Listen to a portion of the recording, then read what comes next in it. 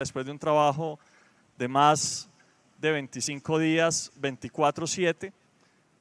hoy vamos a rehabilitar el paso de Las Palmas, lo que va a permitir descongestionar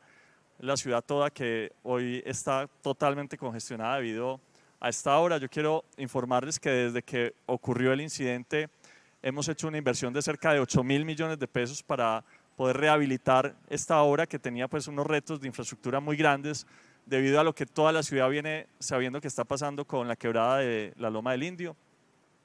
Esta quebrada tenía unas, unas intervenciones estructurales hechas desde mucho tiempo atrás y esto había generado que la quebrada de alguna forma se perdiera